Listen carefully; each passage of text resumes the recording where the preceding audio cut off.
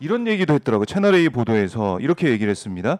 취임 전 인수위 때 김건희 여사가 전화로 명태균 씨한테 인수위 참여를 제안했는데 명 씨가 거절했다 뭐 이런 얘기를 했어요. 인수위 이 참여를 김건희 여사가 왜 제안합니까? 아니 근데? 사기인가요? 이분 뭐 정가까지 좀 있는 걸로 알려져 네, 네. 있고 게다가 지금 하는 짓을 보면은 국회의원 월급 반띵 뜯어가는 사람 아닙니까? 그러니까 브로커 중에서도 가장 질 낮고 예. 정말 해서는 안 되는 선 넘는 짓을 많이 한 사람인데 이런 사람한테 인수위를 제안한다? 제안했다.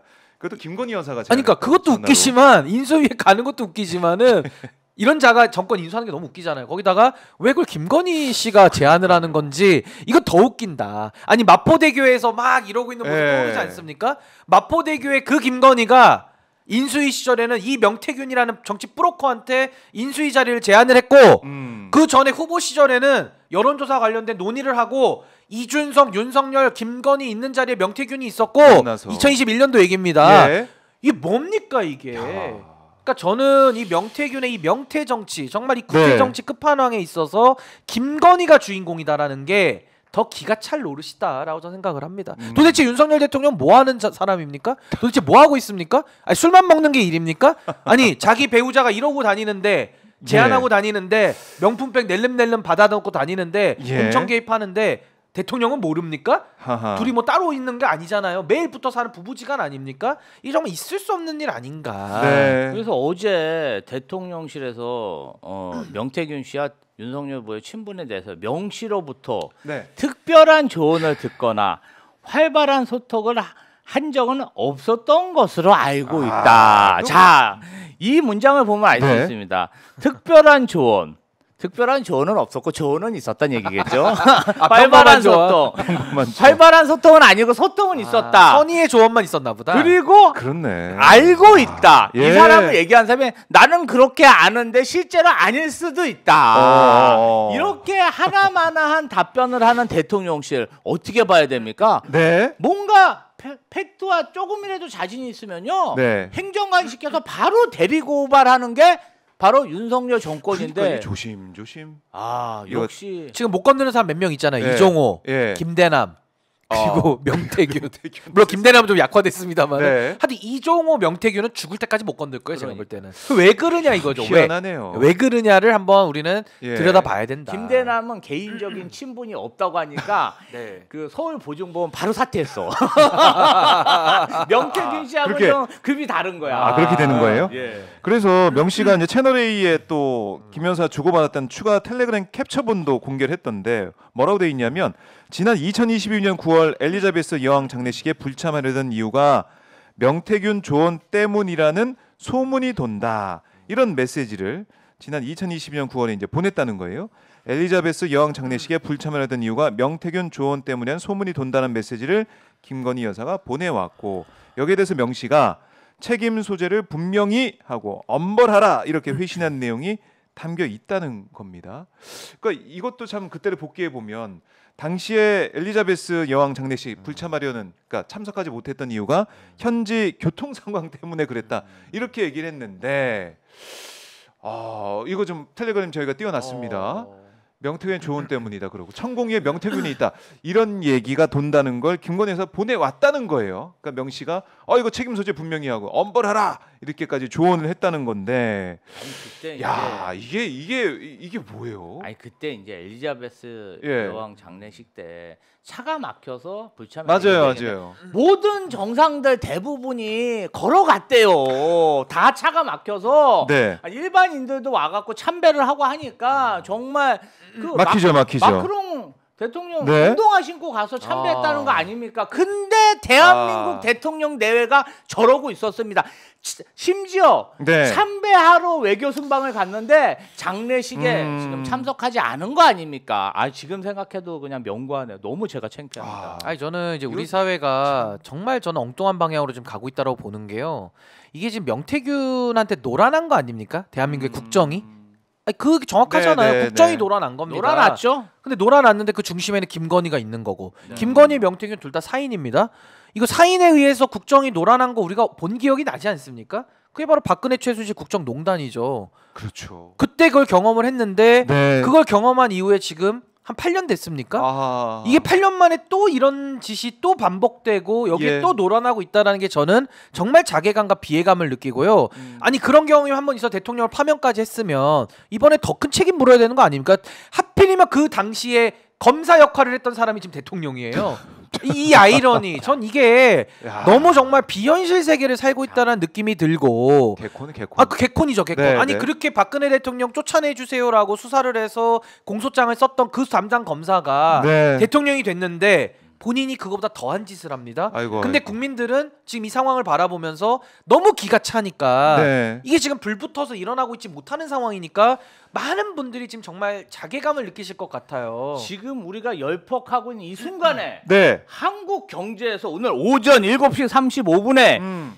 여배우인 줄 알았네 들썩 김건희 정통 복장 또 히트 아, 라는 그 기사가 그런. 단독 보도를 했는데 한번 보십시오. 야 필리핀 가서 저걸 하려고 필리핀에 간 거였습니다. 저 어깨뽕 보이십니까? 어깨뽕? 아, 이 어깨가 좀 솟아 있네요. 어깨뽕 하니까 다른 뽕도 지금 제가 생각나는데 그건 제가 차마 말은 못하겠습니다. 아, 이 기사가 나온 거죠 한국경제. 야, 이게- 온 문의는 홍매화인가요? 야 이게 지금 뭐 네, 필리핀. 전통 의상이라고.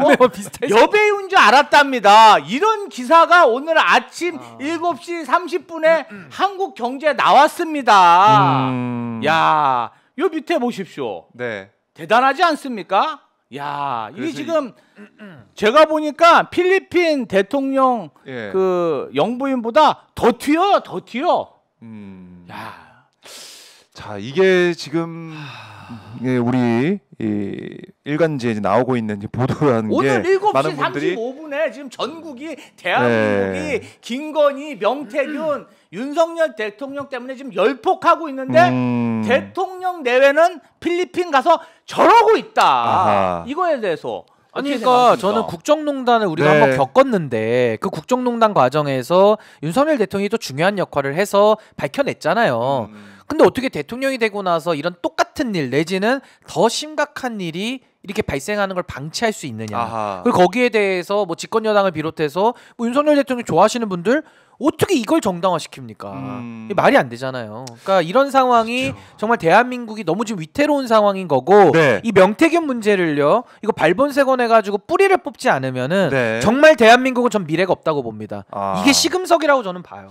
그러니까 이- 이게 이제 지난번에 우리가 봤던 탄핵 정국에 어떻게 보면은 시발점이 될 수도 있다라는 생각이 드는 것이고요. 이런 얘기도 했어요. JTBC 보도를 보면 명 씨가 어, 이 대통령실에서 이런 얘기를 들었다는 거예요. 내가 누군지, 그러니까 대통령실 직원이 자신을 찾아와서 대통령 이름을 팔아도 된다 이렇게 말했다고 주장을 했다는 거예요. 아니, 그러니까 듣고도 믿기지 않는 이- 그런 얘기들이 나오고 제가 이 있습니다. 기사를 자세히 예. 보니까 명 명태균 씨가 네. 김건희 여사 녹취록 뭐 오빠한테 전화 왔죠. 음. 이걸 맨날 틀고 다니니까 어, 대통령 취임 6개월 후에 대통령실 공직기강 비서관이 찾아온 거야. 아, 아, 대통령 좀 팔지 말라고. 네, 네. 경고하라고 온 거겠죠. 아, 아. 아, 이러시면 안 된다. 너무 이게 여론이 나쁘다 얘기를 하니까 명 씨가 내가 말이야 대통령한테 이것도 하고 저것도 하고 이것도 했는데 나는 좀 팔아도 돼. 그래서 내 보냈다는 거 아닙니까? 이게 참 진짜 제가 어이가 없어서 아니 정말 대한민국에 이래도 이, 아니 대한민국에 진짜 이 정도뿐이 안 됩니까? 저 정말 창피해서 어디 가서 얘기도 못 하겠어요. 아니 이렇게 네. 팔고 다니는 것도 기가 막히지만 네. 팔면 예. 대통령실에서 고소고발을 하든지 뭔가 조치를 취해야 될 거 아니에요. 아니 구속을 시키든지. 옛날, 옛날 건진 때 생각이 나네. 건진 때도 예. 건진한테 주의를 준 게 아니라 그 주변 사람들 조심해라. 음. 조심해라. 조심해라. 건진주의보. 공개 경고했잖아. 이번에 건진은. 명태주의보를 발령한 거죠. 명태주의보. 아니 그러니까 이게요. 예. 저는 지금 참 이런 거를 우리가 시사 프로에서 얘기를 안 할 수가 없는 이 상황이 너무 큰 야. 자괴감이 드는 겁니다. 아니 대통령의 이름을 네. 팔아도 된다라는 말을 어떻게 하고 다녀요? 아니, 그 나는 좀 팔고. 팔아도 돼. 그러니까 나는 팔아도 돼. 나는 좀 팔아도 이 정권은 돼. 내가 만들었으니까 내가 무너뜨려. 어, 내가 파 는데 검사한테? 가가지고 아니 대통령 탄핵하야 좀 당하는 거 감당할 수 있겠어? 이게 아, 아니 이게 뭐냐는 거예요. 이 초현실, 이 사이 이 초현실 같은 이 그러니까 현실. 우리가 초현실주의. 김영선 의원이 어, 노량시장 수돗물을 먹을 때 네. 아무도 이해 못했어. 아, 저 사람이 갑자기 그것도 왜라? 초현실이야. 이제 내가 이해가 가. 왜 저 사람들이 저러고 다니는지. 야, 다 연결이 돼요. 예. 다 연결이 돼요. 이제 이해가 됩니다. 저 먹을 수뿐이 놀랍니다. 없어요. 야. 그러니까 이 사안 자체가 어디까지 커질지 모르겠지만 명태균 씨는 계속해서 또 페이스북에 글을 남기고 있는데 한 시간 전에 뭐라고 썼냐면 배 고분 병사는 창을 들고 나가 싸울 수 없다. 배 고분 이게 표현했지만 배고픈 이제 병사는 창을 들고 나가 싸울 수 없다 이런 얘기를 했었는데 한글도 못 쓰, 한글도 잘 모르는 모양이에요. 배 고분 뭐이 뭐 이 지역에서는 이렇게 얘기할 수 있겠지만 어쨌든 이 얘기도 좀 해석을 해보자면 아, 배고픈 병사 못 싸우는 거 알지 않느냐 나는 배고프다 이런 얘기입니까? 아니 이제 여론조사로 예. 대선 여론조사로 윤석열 대통령 후보에게 3억 6천만 원에 금하는 그러한 여론조사를 보고를 했는데 네. 청구서를 가지고 서울로 간데 못 받아왔지 않습니까? 그 대신 어 정호 정황으로 보면 김영선 음, 의원이 뭔가 공천을 공천을 받았다는. 의혹이 있는데 네. 결국은 그렇습니다. 월급을 반띵을 와이프로 받았는데 예. 그게 뭐 한 1억 정도 된다는 거잖아요. 그럼 이제 앞으로 공천을 또 받아서 한 4년간 월, 월급 반띵을 하면 제 생각에는 채워진다. 얼추 3억 6천이 채워졌을 텐데 공천에 떨어지다 보니까 회수를 못 한 거야. 예. 제 생각에는 회수를 못하다 보니까 나는 정권에 열심히 일했는데 속았다. 돈을 회수 를 못했다. 욕은 욕대로 먹고 네. 금전적 이익도 전혀 못 보고 원가도 확보를 못했다. 이런 얘기 아니겠습니까?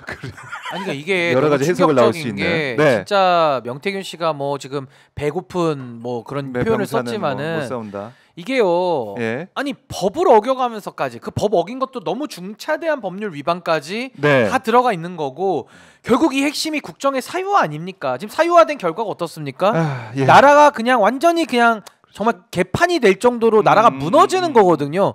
이거 뭐 기강이 무너진다는 말로도 표현이 안 돼요. 네. 그 중심에 지금 명태균 씨가 있습니다. 그럼 이게 드러났으면 좀 자숙하면서 수사를 받고 죄송해 해야지. 최순실 어떻게 했습니까? 네. 들어오면서 국민들에게 죄송하다 그랬어요. 음. 근데 이거는요 더 뻔뻔해져 가지고 지금도 보십시오 계속 페이스북에 글 올려 가지고 윤석열 김건희 그러니까요. 들어라 이거죠 계속 공개 협박하고 있어요 거기에 대해서 대통령은 뭐가 책이 잡혔는지 아무 조치도 못 하고 있어요 아. 이거 어떻게 해결합니까 지금 의료 대란만 해결 못 하는 게 아니라 명태균도 해결 못 하고 있어요 지금 이게 말이 되냐는 겁니다 이게 이게 전혀 이제 정리가 안 되고 우리 국민들이 좀 정리해 주길 바라는 그런 사안들이 있어서는 묵묵부답이고 조치가 없어요. 그러니까 우리 야당 대표만 수사하고 또 기자들만 압수수색하고 이런 건 반복되다 보니까 국민들이 볼 때 아니 윤 대통령 공정과 상식을 얘기하더니 전혀 그렇지 않다는 그런 얘기. 그러니까 불공정과 몰상식으로 지금 이제 귀결이 되는 거 아닙니까 그러니까 아. 전혀 받아들일 수 없는 상황이 벌어지고 있는 그렇죠. 거죠.